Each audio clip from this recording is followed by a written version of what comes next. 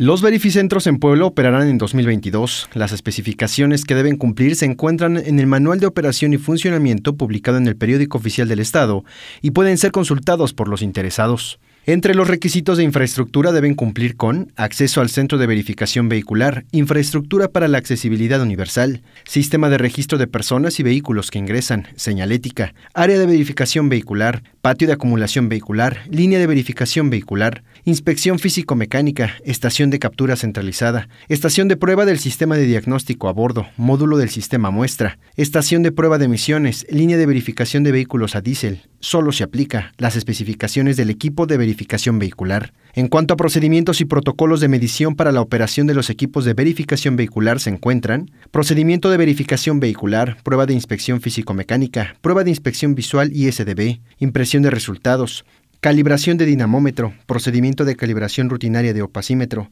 calibración de equipos de inspección físico-mecánica, calibración de alineador al paso, calibración del banco de suspensiones, calibración del frenómetro de rodillos, para este proceso se solicita un sistema de grabación de video con las características como fuente de poder centralizada, especificaciones del dispositivo de grabación y respaldo de información, configuración de usuarios, características de las cámaras del sistema de video, condiciones de funcionamiento del sistema de grabación de video y monitoreo remoto. También se solicita un registro de proveedores de equipos para verificación vehicular donde se estipulen las obligaciones de los proveedores. En cuanto a la operación y condiciones de los centros de verificación vehicular, se debe establecer el cambio de denominación y razón social, cambio de tenencia y obligaciones de los centros de verificación vehicular. Cabe señalar que en marzo de 2020 la Secretaría de Medio Ambiente, en conjunto con la Procuraduría Federal de Protección al Ambiente, clausuraron los 17 verificentros que había en Puebla argumentando que incumplían con la norma oficial mexicana. Set Noticias.